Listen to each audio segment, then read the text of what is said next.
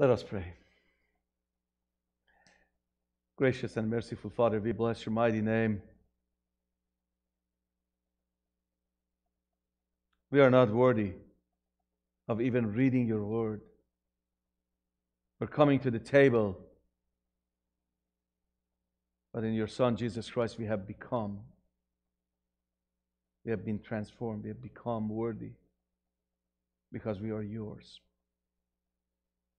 Father, in all humility and honesty and with a humble approach, we come to you saying that we are yours. We submit everything that we have in our minds and hearts and worriness and thinking, everything to you, God, even our own will. We give it all to you. Would you please take it away from us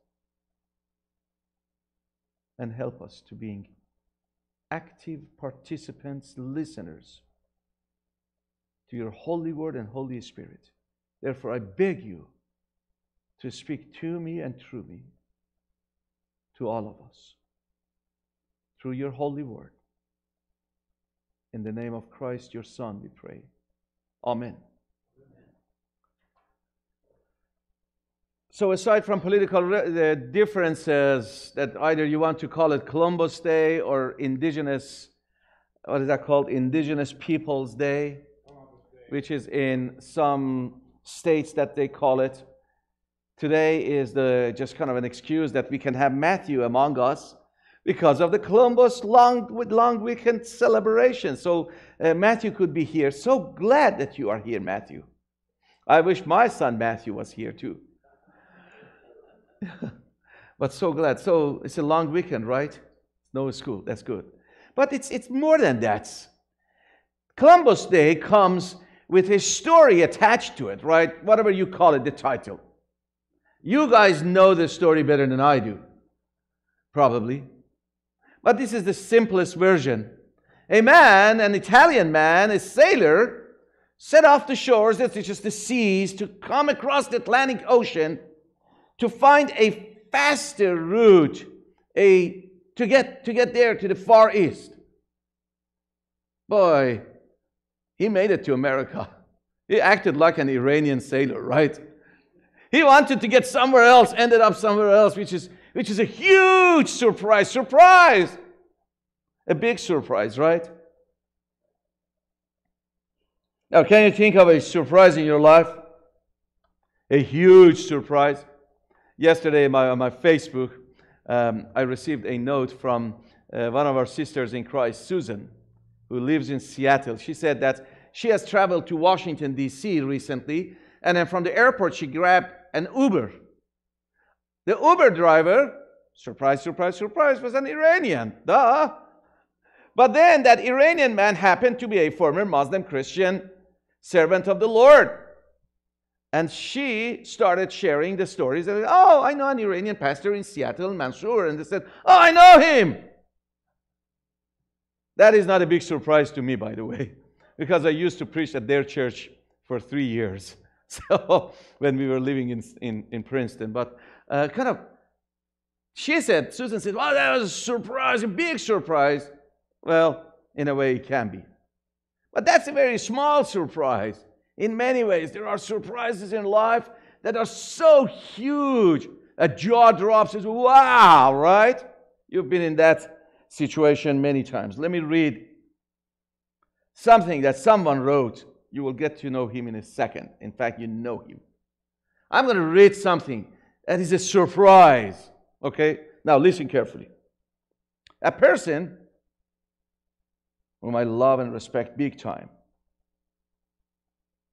he or she, he, says, I believe in no religion.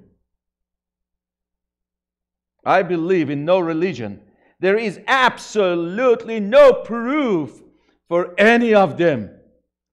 And from a philosophical standpoint, Christianity is not even the best. All religions, that is, all mythologies, to give them their proper name, are merely man's own invention.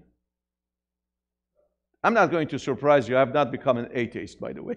So I'm just keep keep let me, let me, let me read more. A few years later, the same person, the very same person, says this. Now you will get the name. Listen. I know very well when. Listen. I know very well when, but hardly know how the final step was taken. I was driven to zoo one sunny day. When we set out, I did not believe that Jesus Christ is the Son of God. And when we reached the zoo, I did. Yet, I had not exactly spent the journey in thought, nor in great emotion. It was more like a man after a long sleep, still lying motionless in bed, becomes aware that he is now awake. That person who wrote both of these quotations a few years apart is the great British author, theologian, apologist, radio broadcaster C.S. Lewis. That's him, C.S. Lewis. A great surprise, right?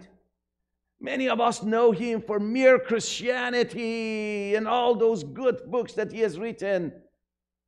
Once upon a time, from being a follower of a, an institution, he became an atheist.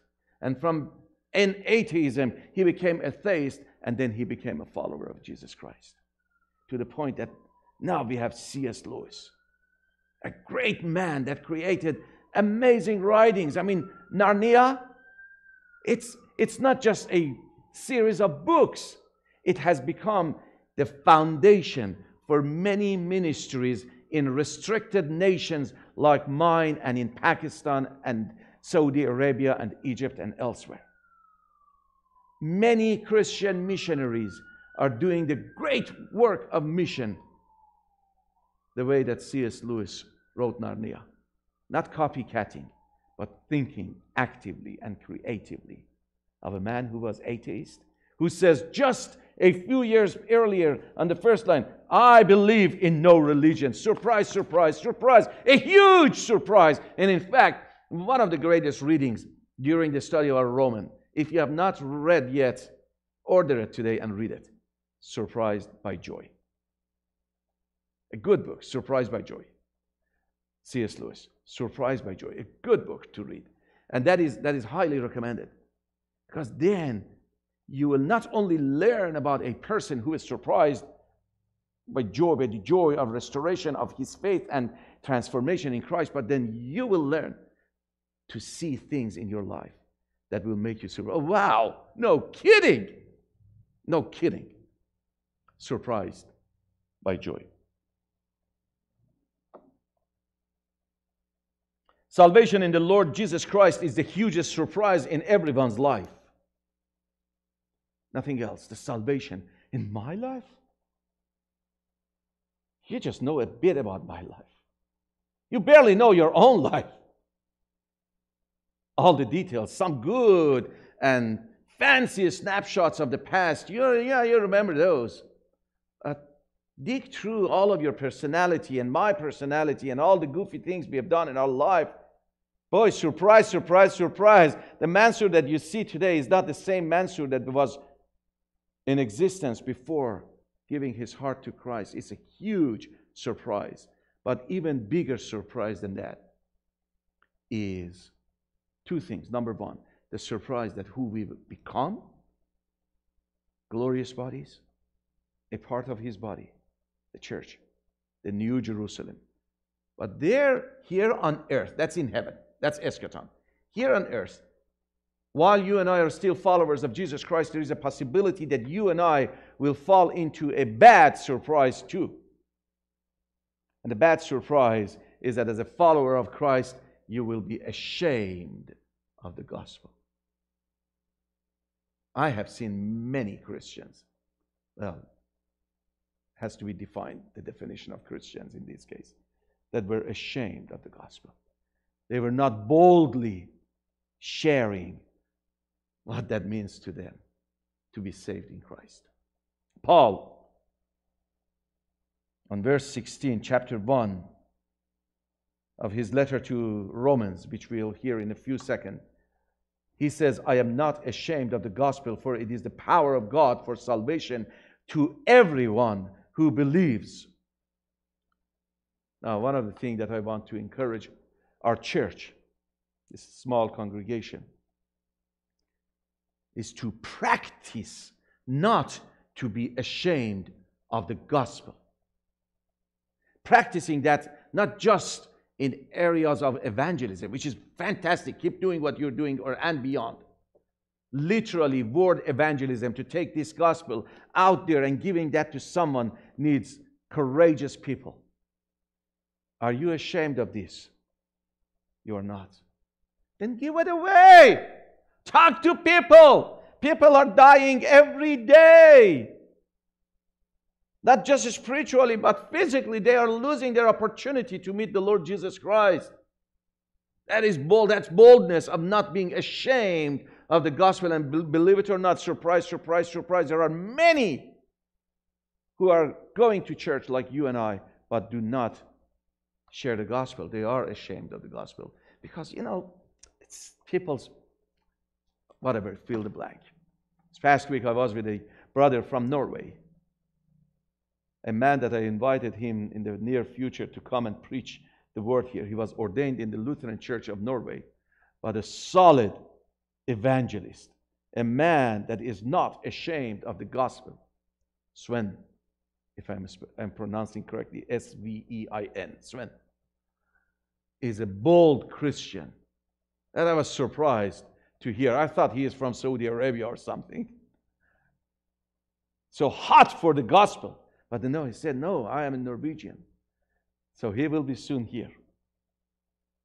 That is the power of the gospel that we should not be ashamed of.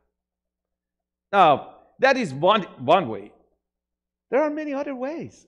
I would like to encourage you to prayerfully come and take partnership, take part in partnership in the worship leadership. We have this wonderful uh, Brother Datius that reads the scripture passage. It's fantastic. But that would be horrible if it becomes his and only his ministry. I would like to see Datius in many other areas. How about if some of you help him in the reading of the scripture? How about if some of you help in the prayer of the people? You are prayer warriors. You will do much better than a person that needs to think and speak the prayer in English. Me. How about other parts of the liturgy? This requires boldness of people who are not ashamed of the gospel. With that, let's boldly stand up together, asking our brother Datius to come and read the Holy Scripture, Romans chapter 1, verses 8 through 17. At the end of this reading, Brother Datius will say, This is the Word of God. And that is your turn, my turn, and people on the Facebook, our turn to say, Thanks be to God. This is how we confess, how we proclaim that we are not ashamed of the gospel. Listen carefully. We are reading God's holy word.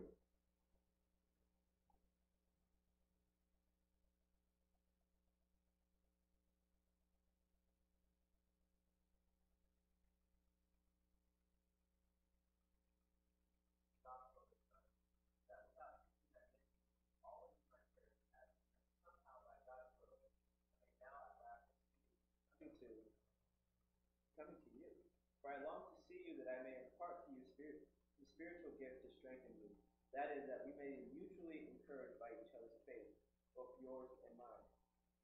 I do not want you to be unaware, brothers, that I have often intended to come to you, but this far have been prevented, in order that I may reap some harvest among you as well as among the rest of the Gentiles. I am under obligation both to the Greeks and to barbarians, both to the wise and to the foolish. So I am eager to preach the gospel to you also who are in Rome for I am not ashamed of the gospel, for it is the power of God for salvation to everyone who believes, the Jew first and also to the Greek. For in it the righteousness of God is revealed from faith to faith, as it is written, the righteous shall live by faith. Amen. This is the word of God. Thanks be to God. Grass withers and the flowers fade. The word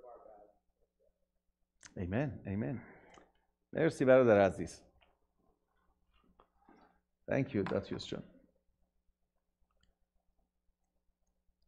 So last Sunday, when we started the study of the book of Romans, I said something that uh, I was corrected later on. I appreciate that. Uh, so they just kind of in. Uh, I'm not going to justify that, but I thought living will is the last will, and I was wrong. So if you listen carefully to the last week's sermon, there is a correction. What I meant by living will is not, was not, and is not the living will. It was the last will. So, what the context was is connected to this sermon today, and that is why I mentioned that. Because Paul, that's how he feels. He feels that he wants to be with the people in Rome, but he's not going to make it.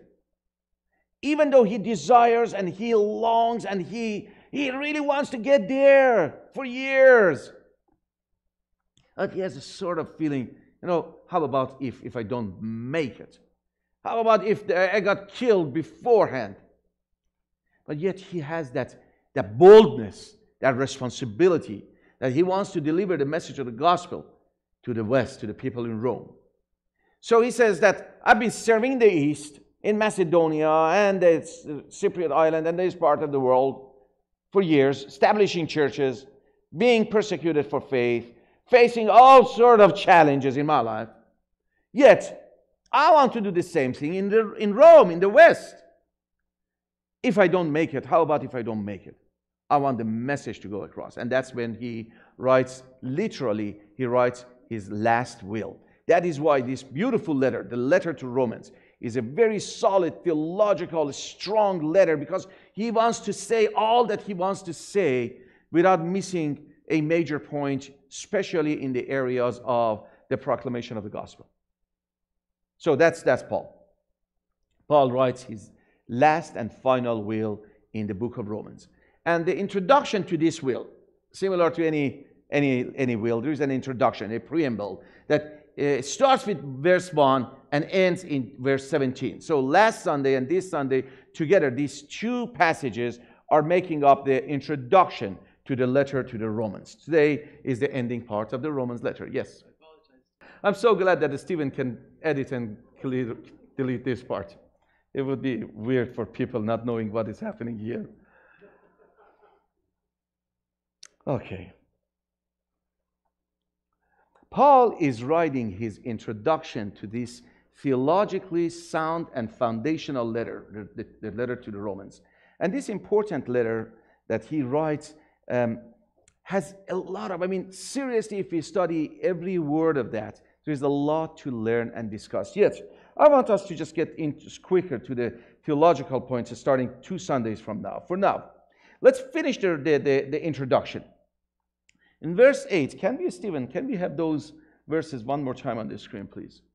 On verse 8, he lays that serious, seriously important foundation. First things always first. How do you start your emails? I have seen many business emails in my life both in America and in the West. I am intrigued by many Christians when they start their, their, their, their email. It's sometimes even the beginning of their business emails are slightly different. There is always that proper greetings. And so, hey, dude. Paul is not saying, hey, dude. He says, first, I thank God through Christ. It is extremely important to put first things first in any business. In the businesses, in the communications, in the writings, in the relationship, in the conversations that we have. It is proper, it's important for us to have that, that, that first thing first mentality. I don't want to create a, hip, a community of hypocrites. Not at all. But let that be so genuine that comes out of you so naturally that you cannot not be presenting the gospel or being a Christian. This morning at the study of Leviticus chapter 11, we, one of the questions, the first question to ponder was that what are the similarities and differences that you can identify in you in relationship with others around you. I mean, there is a lot of, I mean, similarities that we have, but there should be some differences, and not to those differences should not elevate us above other people. By all means, not at all. In fact, the contrary, the opposite is correct. Is to just show that salt and light so that people will see the light of Christ and will give their hearts to Christ. Uh, there should be a difference. How do you start your communications? How do you start your business? How do you start? I don't want to, again, I don't want to create a community of hypocrites or a group of um, religiosity preoccupied people. Not at all. In fact, that would be fantastic if we let that soak in and that becomes a part of our personality to present God in our approaches. First things first. He says, I thank Christ, I thank God. But then builds the rest, anything else, on that foundation. Now, the following verses, there are four points. Number one, he encourages, he supports, he loves, and he affirms the other believers. He encourages, he supports, he loves, and he affirms others. It's important to get all these four points in order. Then you will see the conclusion in verses 16 and 17, where he seeks the affirmation and the support and the love and the encouragement of the community of faith. And that's verses 16 and 17. So basically, what he is doing, he leads by example, but yet at the same time, he doesn't put himself above the people. He lowers himself to the reality level, seeking the encouragement, the support, the love, and the affirmation of the community of faith. Verse 8, second part. First, I thank God through Jesus Christ for all of you because your faith is proclaimed in all the world. Last Sunday, we discussed and we thought of the fame of the believer that is not in them but in Christ. The fame of God endowed in them. And they are famous not for the, who they are, but famous for their following of the Lord, famous for faithfulness and being ready to be humble. It is so humbling to be famous for Christ. It is not going to make you a celebrity, by the way. Being famous for Christ does not mean that you'll be made a famous person in the world walking around and signing paper. Famous for Christ means requires a lot of humility. You all are famous in Christ, and I'm honored to be among you. It's a humbling experience. It's a reality that is not much celebrated by the world around us. Paul encourages the believers in Rome by speaking to them and telling them that this is who you are. You're famous because of your faithfulness. Now, there are sufferings. But he doesn't end right here. He also goes on to support them in verse 9 and 10. For God is my witness. He's, he's just bringing that uh, oath to just to assure that, hey, I'm telling you the truth. Whom I serve with my spirit in the gospel of his Son, that without ceasing I mention you always in my prayers, asking that somehow, by God's will, I may now, at least, at last, succeed, succeed in coming to you. A good friend of mine in Philadelphia, Andy Hudson, he prays for me, still praying, ever since 2005. Do you know how I know he is praying? I'm not a superstitious person, by the way. I'm not. Sometimes I feel prayers. I'm not a superstitious. I just read texts when they are written in pure English or in pure Farsi, and I understand those. When he pray, he is praying for me. He sent a text message that this morning I'm praying for you, brother Mansour. How wonderful it is. Do you, do you know how to send a text message? Not you all, some of you. Do you know how to send a text message? No? Go and learn it. it's good when you pray for someone to let them know that you prayed for them. How about an email? How about a phone call? How about in person? This past week, I've been praying for you by name. And I want to encourage you for that. But it does, it's not a one way road. Friends, I know that you are praying for me. Remind me. Tell me. It is not going to make you pride. It is making you more humble. That is not you're not in, you're not giving words of empowerment. You're not energizing me. You're encouraging me. You're supporting me. You're supplicating for and on my behalf. It's good. When you pray for someone, learn from Paul. Tell him. Tell him that you are praying for that person. It doesn't take that much of time. I know that some of you spend long minutes or sometimes hours praying for someone that you love or you care for. Let them know that you have been praying for them. I sometimes go bold and I just tell people, hey, the need that you just shared with me, I'm going to pray for you seriously. But you got to promise. When you hear God's voice, when you hear the answer, would you please share that in a form of testimony with someone? Don't keep it for yourself. Friends, be bold. God hears our prayers because we are not offering those in our name or power. We are offering our prayers in the name of the Lord Jesus Christ, who I serve, who we serve for the sake of the gospel. And God honors those prayers. Be a bold person like Paul. So when you pray, next time when you pray for someone, would you please let them know? No text message, that's fine.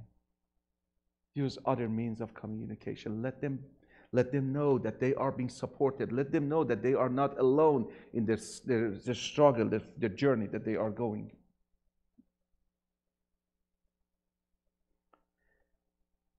In your bulletins, page 3, there is a scripture, scripture passage from Romans chapter 15, verses 32 33. Paul says, I appeal to you, brothers and sisters, by our Lord Jesus Christ and by the love of the Holy Spirit, to strive together with me in your prayers to God on my behalf, that I may be delivered from the unbelievers in Judea and that my service for Jerusalem may, may, be acceptable to the saints, so that by God's will I may come to you with joy and be refreshed in your company. May, may the God of peace be with you all. Amen. Paul is not just encouraging others by telling them that I pray for you, but also he's begging, hey, pray for me. Now, if you don't send a text message when you pray for someone, send them a text message when you need a prayer or an email or something. Tell them, share with them. Share with them the needs, the struggle. Communicate. If you don't say it, they don't know it.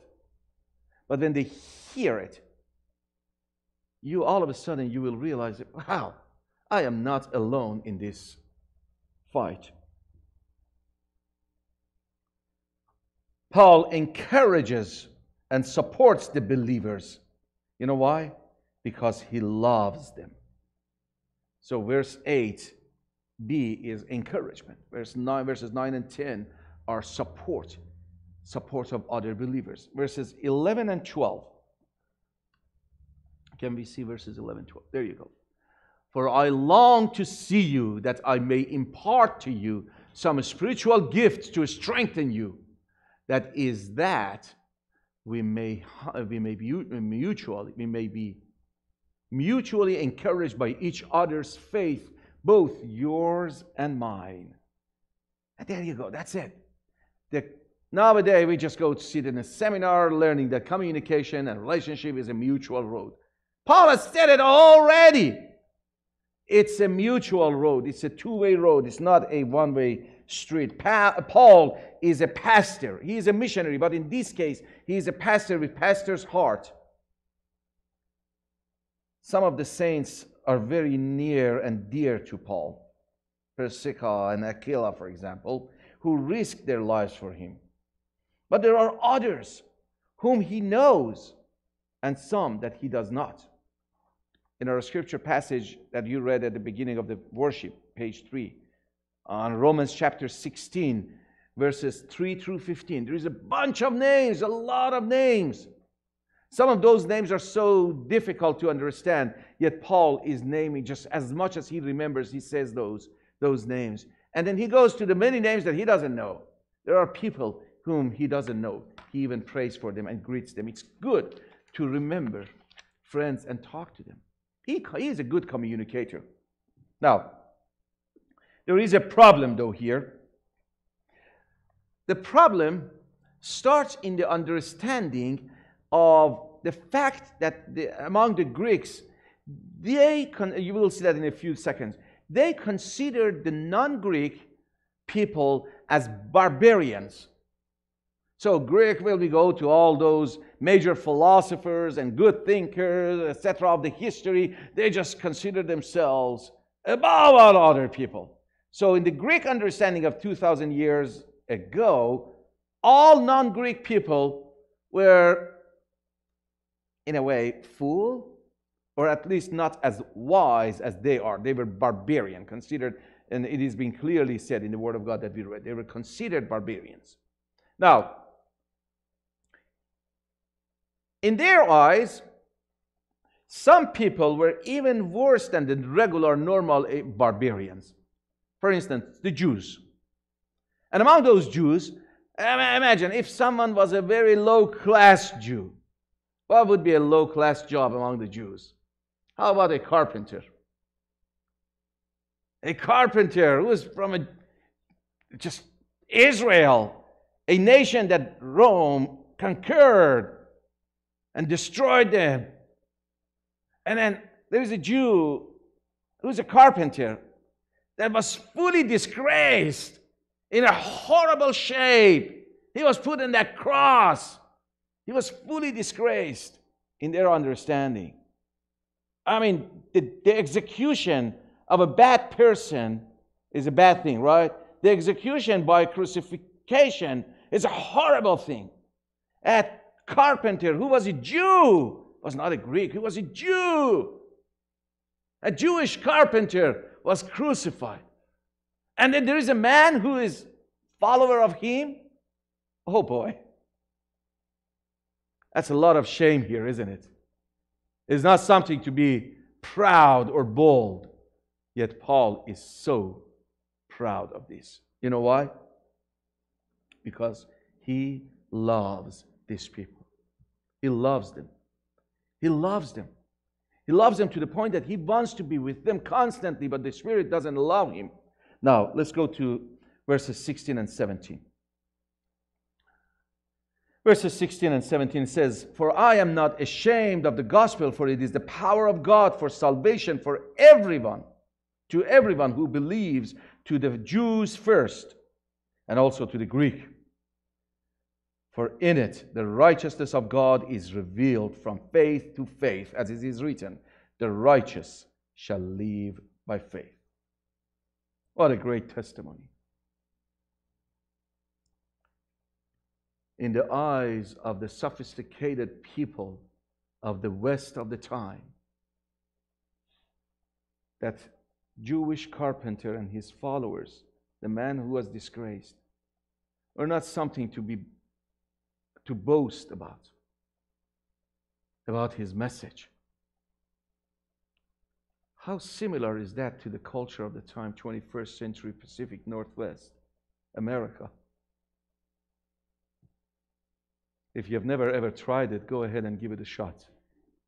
Take a bunch of these gospels and go to downtown Redmond, or go to Bellevue, or Seattle, or near South Lake Stevens, where all these tech companies are blooming. Okay, don't go that far. How about University of Washington? How about Western State University, Western Washington University? How about Edmonds Community College? How about Bothell campus? How about your, your next door neighbor? Go ahead and tell them about a man who died so that you will not die. In the eyes of sophisticated people of 2,000 years ago, the world was contained two, two group of people, the Greeks and the barbarians. You might be categorized the same way with different terminologies.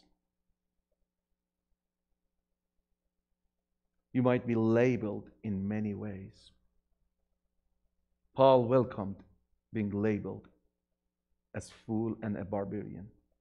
he welcomed the idea of being full, considered foolish follower of a Jewish carpenter. I am. I am honored. I am humbled to walk around wherever He sends me and boldly say, I am not ashamed of the gospel. I know you are. Rome was a proud city. The gospel came from a humble city, Jerusalem. Among these low class Jews, there were some people, some of them slaves, by the way, because of the persecution, they were sold to slavery at the time of Paul. I mean, by the time of James, a lot of Christians were slaves, sold into slavery, who were the followers of the way, capital W. Basically, the Christians. Christians were not the elites of the time. One of the churches somewhere in the world, I'm not going to tell you. As the pastor of the church welcomed me to the pulpit to be the guest preacher of that day, he said, Our church is known for the, as the church of the elites. And then we're so honored that Mansour is our preacher. I said, Well, I'm in the wrong church. It appears. appears. They laughed, but they probably laughed at me. Christians were not the elites of the time. Yet Christians in such circumstances as these are called to stand boldly and not be ashamed of the gospel. And that's what makes us brothers and sisters. And we are not ashamed of the gospel. We are brothers and sisters in Christ.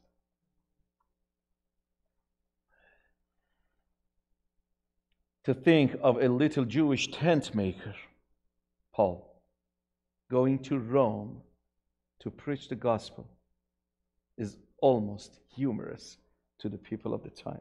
You're kidding me, Paul? A tent maker coming to Rome? No. Now, he eventually went to Rome after writing this letter. Not just as a Jewish follower of a crucified carpenter and a tent maker, but as a prisoner himself. But then there you go. Next time you happen to be in Rome, do what I suggest you to do. I've been in Rome, I don't know, 10 times. The first time I got excited about Vatican and Vatican Museum and all the sculptures and museums and Da Vinci, etc. But that's it. Anytime after that I made it to Rome, I quickly grab a taxi and I go outside the walls of the city. I don't stick to the excitements that are attractive to the tourists. I'm not driven by those things anymore. I go beyond the walls of the city to a poor, not well taken care of monastery where the body of St. Paul is laid to rest. And I sit in that corner as a spiritual journey for myself and read Romans from chapter 1 to the end in one sitting. And that has a different meaning. I feel that Paul is preaching to me. I feel like just kind of, yeah, I'm a part of the church in Rome and he wants to talk to me. He wants to tell me something. What are you driven by? What do you want to be famous for? I encourage you and myself to be famous, not to be ashamed of the gospel. Amen. So today we are going to, as a part of our appreciation to the Lord Jesus Christ, we give our tithes and offerings, but we will have